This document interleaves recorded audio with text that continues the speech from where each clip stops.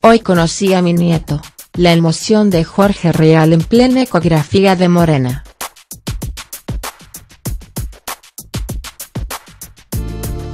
Aunque muchos dudaban de que la relación entre Jorge Real y su hija se estaba recomponiendo de a poco, luego de que ella anunciara que estaba embarazada, llegó la prueba fehaciente que reafirma lo que el conductor de Intrusos había declarado en entrevistas y en su propio programa al ser consultado.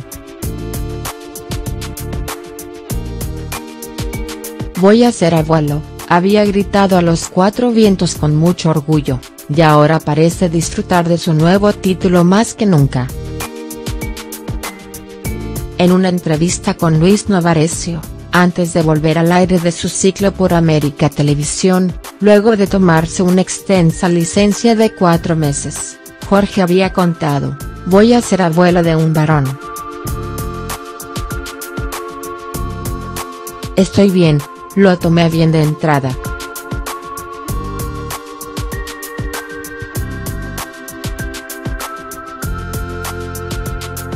Cuesta un poco adaptarte, pero me gusta mucho, explicó Real.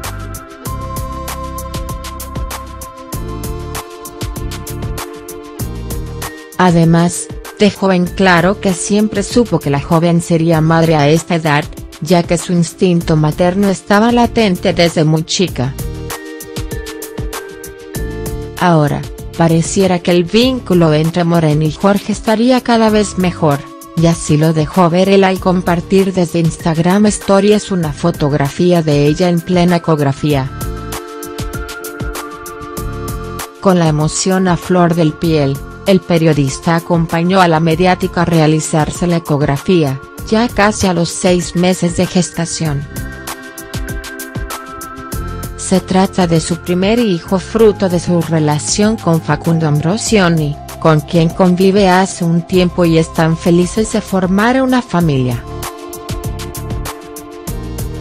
Como lo anunció en su vuelta a Intrusos, se sabe que será varón, y aunque aún no trascendió el nombre que los flamantes papás eligieron para el niño, en una entrevista el futbolista había confesado que le gustaría que si era nene se llamara Jordi. De todas formas, aún no se ha confirmado que esta sea la elección definitiva.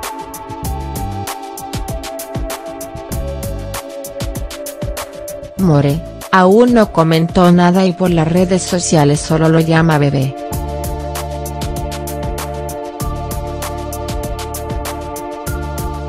Otro de los detalles que trascendió es que la futura mamá le habría pedido a la exnovia de su padre, Loli Antoniale, que fuera la madrina de su primer hijo. En cuanto a esto, Jorge no se ha expresado en absoluto, a pesar de que ellas se muestran muy cariñosas en las redes sociales, compartiendo fotos y mensajes muy tiernos.